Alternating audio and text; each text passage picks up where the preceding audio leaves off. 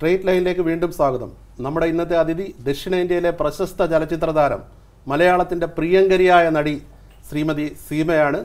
Straight ലൈനിലേക്ക് സ്വാഗതം Shrimati Seema I V Sasi. നമസ്കാരം.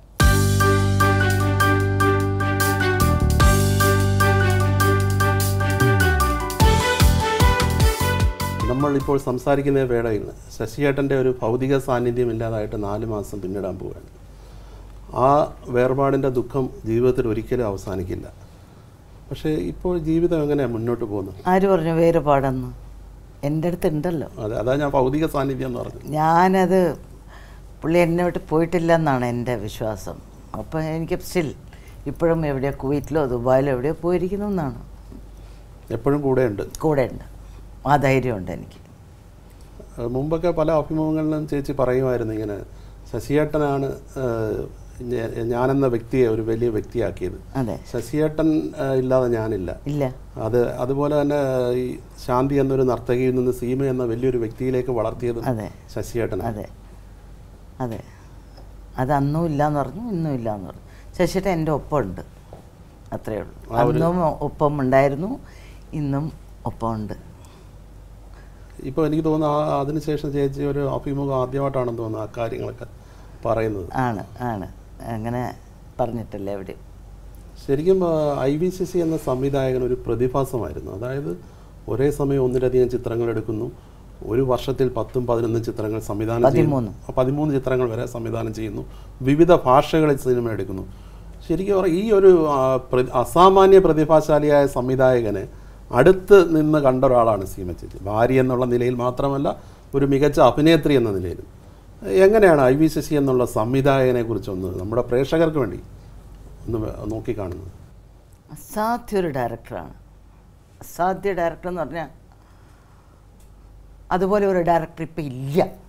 ഇല്ല എന്ന് തന്നെ എനിക്ക് ധൈര്യമായിട്ട് പറയാം. ബിക്കോസ് ഉണ്ണുമ്പോഴും ഉറങ്ങുമ്പോഴും നടക്കുമ്പോഴും ഇരിക്കുമ്പോഴും ഒക്കെ ചിന്ത പുള്ളിക്ക് സിനിമ മാത്രമേ ഉള്ളൂ. Cinema cinema cinema cinema.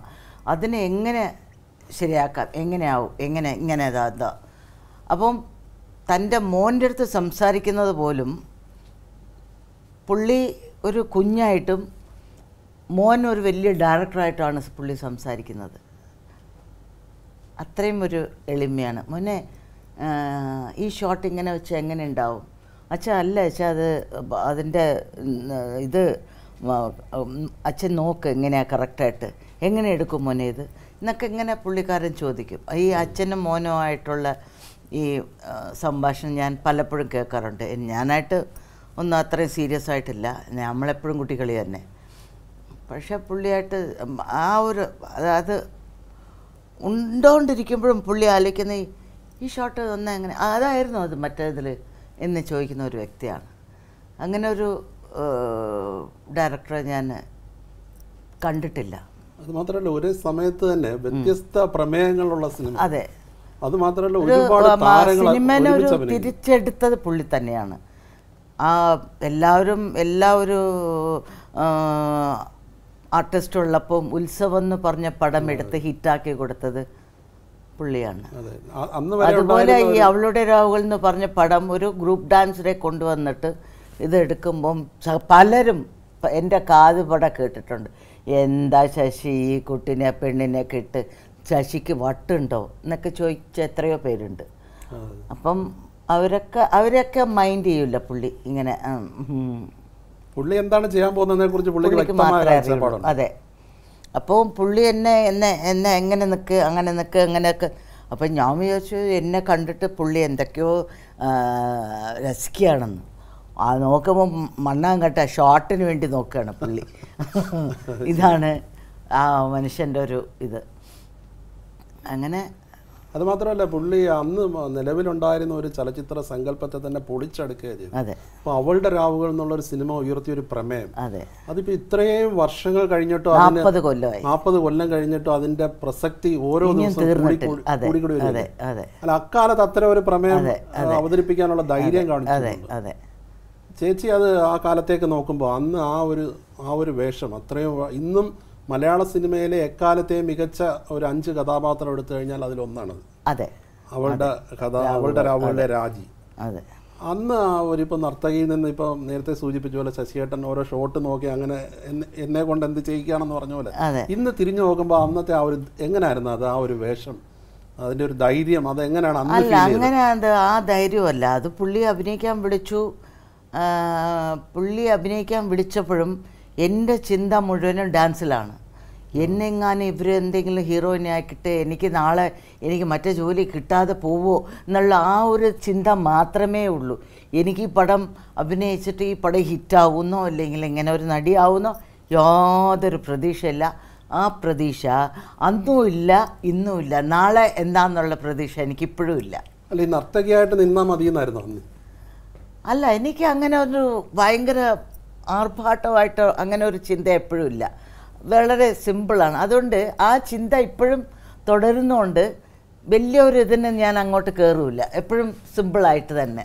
നമുക്ക് അങ്ങനെ ഒരു ഒരു വലിയൊരു ഇത് പിടിക്കണം വലിയ ആളാവണം അങ്ങനെയൊന്നും അന്നും ചിന്തയില്ല ഇന്നും അങ്ങനെയല്ല. വളരെ സാധുവാണ്. പക്ഷേ ഇത്രയും ഒരു അഭിനയത്തിന്റെ ഒരു കഴിവ് അത് അതെങ്ങനെ കിട്ടി? ഗോസ് ടു ശശിയേട്ടൻ. ശശിയേട്ടനാണ്. എന്റെ ആ ഒരു ആ ഒരു എന്താ ചട്ടമ്പിയാണ് കുറച്ച് പറഞ്ഞാൽ. ആ ഒരു ഇത് കണ്ടിട്ടായിരിക്കും പുള്ളിക്കാരൻ ആ ഒരു വേഷവും.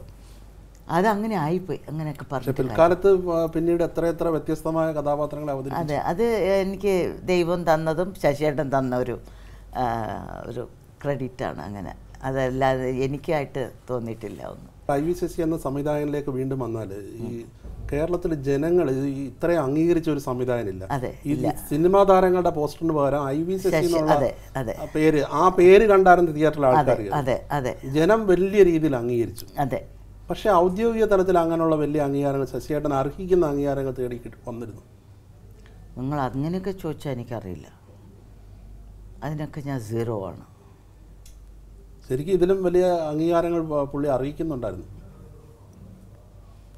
നമ്മുടെ കൈകളിലുള്ള കാര്യമല്ല അല്ലേ ഈ തിരക്ക് ഞാൻ അർഹിക്കുന്നു എന്റെ ഹസ്ബൻഡാണ് എന്റെ ഭർത്താവാണ് അദ്ദേഹത്തിന്റെ ഭാര്യയാണ്. അത് തന്നെ എനിക്ക് വലിയൊരു ഇതാണ്.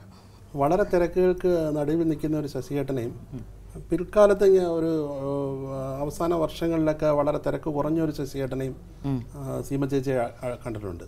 ഈ ലാ അവസാന കാലങ്ങളിലും അന്നേരം ഈ സിനിമ തന്നെയാണോ മനസ്സിൽ? സിനിമ തന്നെ. ഞാൻ പറഞ്ഞില്ലേ മരിക്കുന്നവരെ സിനിമ തന്നെ. അവസാനം ഒരു സിനിമ എടുക്കുന്നതിന്റെ ഒരു അതുകൊണ്ട് പുള്ളി ആ മോന്റെ അവാർഡ് കണ്ടിട്ടാണല്ലോ ആ ഒരു എക്സൈറ്റ്മെന്റിലാണല്ലോ പുള്ളി കടയക്കറസ്റ്റ് കാർഡിയാക് അറസ്റ്റ് വന്നത്. അല്ലാതെ മറ്റേ ഒരു വേദനയിലൊന്നും അല്ലല്ലോ പോയത്. ആ ഒരു സന്തോഷം അതും അവസാനിച്ചത് അവിടെ തന്നെയാണ്. അതെ അതെ. അന്നേരം ഐ വി ശശി എന്ന സംവിധായകന്റെ പ്രതിഭ അതെ. കേരളീയർക്ക് മകനിൽ നിന്ന് പ്രതീക്ഷിക്കാം. അല്ലേ? അനി ശശി അനി? ശശി. സിനിമാ രംഗത്താണെന്ന് അറിയാം ആണ്. ഡയറക്ടറാണ്. ഇപ്പം- ഡയറക്ടർ ആവുകയാണ് പ്രിയന്റെ കൂടെ പ്രിയന്റെ കൂടെയായിരുന്നു ഒരു ആറ് ഏഴ് വർഷം. ഇപ്പൊ ഇപ്പോൾ ഒറ്റയ്ക്ക് ചെയ്യാനുള്ള ശ്രമമാണ്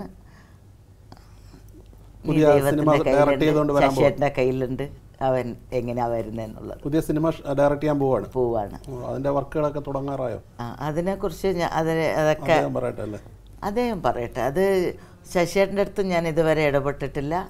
മോന്റെ അടുത്തും അത് തന്നെ കീപ്പപ്പ് ചെയ്യുന്നു. എന്തായാലും പ്രഗത്ഭനായ ഒരു സംവിധായകന്റെ ഭാര്യ എന്നതിനപ്പുറം ഒപ്പം തന്നെ മികച്ച ഒരു സംവിധായകന്റെ അമ്മയാകാനുള്ളൊരു അവസരമാണ് വരുന്നത്. നിങ്ങളുടെ വാക്ക് പൊന്നാവട്ടെ. ഐ വി ശശി സംവിധാനം ചെയ്ത നിരവധി ചിത്രങ്ങളിലെ നായികയായിരുന്ന ശ്രീദേവിയുടെ വേർപാട്.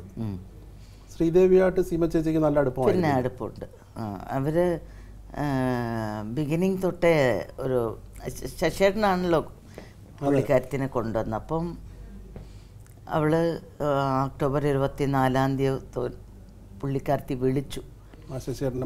മരണത്തിന്റെ അന്ന്. വിളിച്ച് ഒരുപാട് ഒരുപാട് ആശ്വസിപ്പിച്ചു എന്നെ. അപ്പം എന്റെ അടുത്ത് പറഞ്ഞു എനിക്ക് കാണണം. ഞാൻ വരാൻ ചെന്നൈ വരുമ്പം പുള്ളിക്കാരത്തി രാജസ്ഥാനിലായിരുന്നു. മോളുടെ ഷൂട്ടിങ്ങിന് വേണ്ടിയിട്ട്. എത്രയോ പേര് ചെന്നൈയിൽ ഉണ്ടായിട്ടും വരാത്തവരും ഒന്ന് വിളിക്കാത്തവരും പോലും ഉണ്ട്. അങ്ങനെയുള്ള സ്ഥിതിക്ക് ഈ കുട്ടി എവിടെയോ ഇരുന്ന് വിളിക്കുകയാണ്. അപ്പം അത് ആ ഒരു നന്ദിന്റെ ഒരു പ്രതിഫലമാണ്. അതെന്ന് വെച്ചാൽ ആ കുട്ടി എന്തുമാത്രം ഒരു ഒരു സിൻസിയർ ആണെങ്കിൽ അത് വിളിച്ചിരിക്കും എന്നുള്ളത് എനിക്ക് ഭയങ്കര ഒരു ബഹുമാനമായിപ്പോയി അപ്പോൾ ഞാൻ അവരെ പുള്ളിക്കാരുടെ ചെറിയമ്മനെ വിളിച്ച് പറഞ്ഞു. എനിക്ക് വളരെ നന്ദി പറയും. അപ്പോൾ അവൾ അവർ പറയാണ് എന്തിനാ ആ വാ വലിയ വാക്ക് പറയും നമ്മളൊക്കെ ഒരു കുടുംബമല്ലേ. എന്തിനാ സീമ അങ്ങനെ പറയുന്നേ? ഞാൻ പറഞ്ഞു അല്ല പറയണം. അത് വരുന്നതിന്റെ മുമ്പ് ഇങ്ങനെ ഒരു ഭയങ്കര ഒരു വിഷമം തന്നെ. ഭയങ്കര വിഷമം തന്നെ. അവരോടൊപ്പം അഭിനയിച്ചിട്ടുണ്ടോ? ഉണ്ട്. രണ്ട് പടം ചെയ്തിട്ടുണ്ടെന്ന് തോന്നുന്നു. പടമാണോ ആ. ഒന്ന് അല്ല. ഒന്ന് എഴുപത്തി മൂന്ന് പടം ചെയ്തിട്ടുണ്ട്. എഴുപത്തി നാലിലോ എന്തോ ദാസരി നാരായണ റാവ് എന്നെ ഇൻട്രൊഡ്യൂസ് ചെയ്ത. തെലുങ്കിൽ. തെലുങ്കിൽ. പുള്ളിക്കാരത്തി ഇൻട്രൊഡ്യൂസ് ഇൻട്രൊഡക്ഷനാണ് എന്റെ ഇൻട്രൊഡക്ഷനാണ് ദാസരി നാരായണ റാവു. അത് എഴുപത്തി നാലിലോ എന്തോ അങ്ങനെ ഒരു സംഭവം പുള്ളിക്കാരത്തി ഹീറോയിൻ ഞാൻ സെക്കൻഡ് ഹീറോയിൻ. അതെന്തോ സം ഇതിൽ അങ്ങനെ മാറിപ്പോയി. അപ്പോഴാണ് ശശിയേട്ടൻ ശ്രീദേവിനെ കാണാൻ ഹൈദരാബാദിൽ ആ ശാരദി സ്റ്റുഡിയോയിൽ വന്ന്. അങ്ങനെയുള്ള അന്നേ ഉള്ള പരിചയമാണ് ആ ശ്രീദേവിയായിട്ട് പിന്നെ ഒരു ശങ്കർലാൽ എന്ന് പറഞ്ഞ പടം അഭിനയിച്ചു. ശശിയേട്ടന്റെ പകലിൽ അഭിനയിച്ചു. അങ്ങനെ. പിന്നീട് അവരൊരു ബോളിവുഡിൽ പോയി ഒരു വലിയ ആർട്ടിസ്റ്റായ ശേഷം ആ, കണ്ടിട്ടുണ്ടല്ലോ കണ്ടിട്ടില്ല. പിന്നെ കണ്ടിട്ടില്ല. മറ്റൊരു കാര്യം ചോദിക്കുകയാണ്. പൊതുവായിട്ടുള്ളൊരു കാര്യം. ഇപ്പോൾ ശ്രീദേവിയുടെ മരണം അവൾ അമ്പത്തിനാലാമത്തെ വയസ്സിലായിരുന്നു. ഈ നടി എന്നുള്ള നിലയിൽ നടിമാർ ഒരുപാട് ഒരു വലിയ അനിശ്ചിതത്വത്തിലൂടെയാണ് കടന്നു പോകുന്നത് അതായത് അവരുടെ സൗന്ദര്യം നിലനിർത്തുക. അല്ലെ താരപദവി നിലനിർത്തുക. അങ്ങനെ ഒരു വെല്ലുവിളി നടിമാർ അഭിമുഖീകരിക്കുന്നുണ്ടോ? എനിക്കറിയില്ല കേട്ടോ ഇപ്പം നിങ്ങൾ ടച്ചപ്പ് ചെയ്യാൻ പറഞ്ഞു ഞാൻ ചെയ്തോ?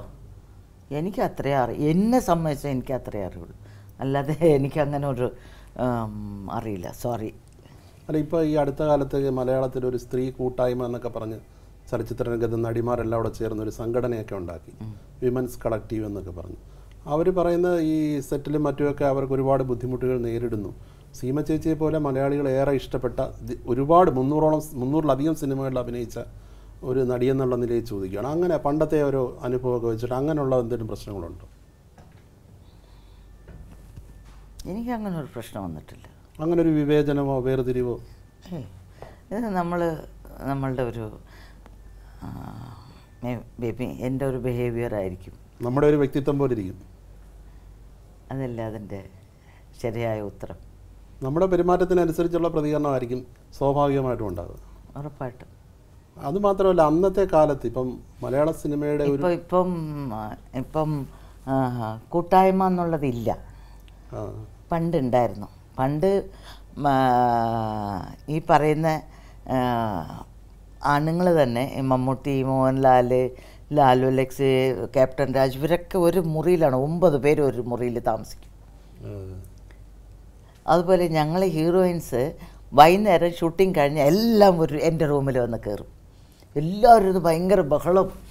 അങ്ങനെ ഒരു ഇതായിരുന്നു. ഒരു കുടുംബം പോലെ കുടുംബം പോലെയാണ്. അത് ഇന്ന് ഉണ്ടോയെന്ന് എനിക്കറിയില്ല. ഈ ഒക്കെ വന്നു.